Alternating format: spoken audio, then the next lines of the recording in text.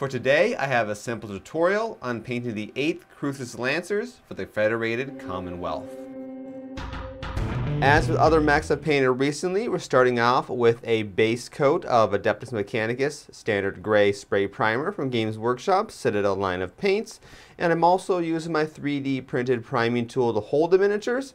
You can find a link in the description below where you can purchase the STL files for this tool. Now for the 8th Crucis Lancers, we want to work with a variation of kind of a standard military green color. I've got Vallejo's 70.893, this is US dark green, and for the base layer of this mech, I'm mixing it with a pale green color. I've got Vallejo Model Air 71-009 Duck Egg Green to get a slightly light green color, and I'm coating the entire mech in this color the next step, we're going to take a little bit of black and mix it in with our base color, which once again is Vallejo US Dark Green 70.893. Using a detail brush, we're going to kind of dab this color all over the miniature to simulate a camouflaged armor pattern. The kind of tricky part here is getting the amount of black correct. Not enough contrast and you can't see this armor pattern effect too much contrast and it's going to look really messy. So it's probably going to take a little bit of fiddling on your part to figure out what color you actually want to apply for this second step. Also, you don't have to wait for the previous layer to fully dry to apply this step, so go ahead and start right away. Next up are two separate steps of the gray color. I've got Dawnstone from Games Workshop Citadel line of paints. And the first part is we want to paint all the gray areas that are going to be under the red stripe effect. So this includes things like the center torso, the pauldron, as well as areas of the shins of the mech. The next step of the gray color is to look for mechanical details like weapons, cooling vents, jump jets, things along those lines, maybe actuators, and give those a coat of this gray color. Continuing on with the mechanical details, we're going to work with the silver color. I'm bringing out my Shining Silver from Army Painter's War Paint series. And I want to cover over all the areas that I just covered in gray for the mechanical details. Please note you're not painting the areas that are going to be part of the red stripe effect. And if you want to get a little bit of a worn down look, leave some of the gray showing. Now comes the really fun part, trying to paint a red stripe to various areas of the mech. You want to use some sort of blood red color. I'm working with the Visceration from Cult line of paints, and I'm going to show you a trick in a moment here, how to make it a little bit cleaner. But for right now, do the best you can in freehanding a clean stripe down the mech. If you're going to make a mistake, you want to put too much paint instead of too little paint down. Any of the gray areas get a red stripe. Now it's time to take on a little bit of a trick I mentioned just a moment ago. We're going to clean up that red line and make it more of a nice straight line. How we're going to do that is take more gray paint and just cover over the areas of the red where it got outside where you want it.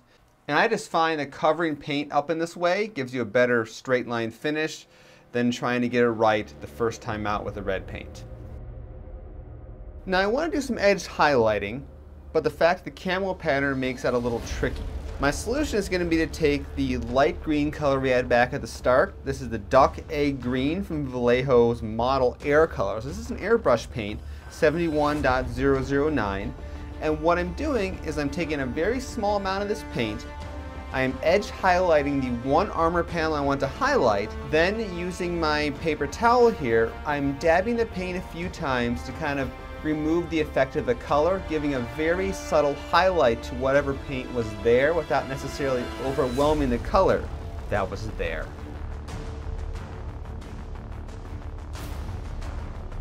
Don't have any white in front of me, so I'm just taking some more of that Duck Egg Green, mixing it in with the gray, giving me a light gray color to edge highlight those areas of the mech. Now I've got two steps involving a black wash, and for both these steps I'm using Citadel Shades Nuln Oil. The first part here is to add some more contrast to the mech and just kind of get rid of this whole flat color thing we have at the moment. I'm running the wash in between armor panels and also around raised armor panels. I'm just going to build some more contrast into your paint job and make it easier for your eye to pick out all the details of this miniature. Then we're going to go back to the metallic areas that we worked on a little bit earlier and coat those areas of silver in this black wash. That's just going to add some more interesting effects to them and make those details easier to be picked out as well. And I think we're down to one final step, and that's to paint the cockpit glass. And I'm using orange. I've got Tempest from Cult Crafts line of paints, and I'm going to very carefully, and you're going to need to very carefully in this mech, paint the little glass panels of the cockpit. I guess they're called ferro glass, right? Battletech. And orange paints tend to be a little thin, so give it a minute or two, let the first layer dry, and apply a second layer. And well, that brings us to the end of this tutorial. Hopefully you found this thing helpful. This is the point where I normally have something sarcastic to say about the mech, or maybe the faction we're painting up, but in this case, I actually like the Federated Commonwealth. May it be a great and powerful nation that lasts for centuries to come. anyway, I'm Jason, the creator of the Tabletop Battlefield. I think the next video I'm going to do is we're jumping back to finish up the Antweight Combat Robot series. I took this guy, Nylon Brigade, which I've been working on for two years, out to the west side of the state for the Michigan mashup, and I actually managed to snag a match win. So that's a nice achievement for me for the first Antweight Combat Robot. After that, I've got some camera gear that's almost here so I can finish up this project and hopefully get the Kickstarter launched for those three sci-fi military-ish, well, near future-ish, sci-fi-ish military vehicles soon and we can finally call that project also done, which is now about a year and a half in the making. Thanks for watching. I'll see you next time.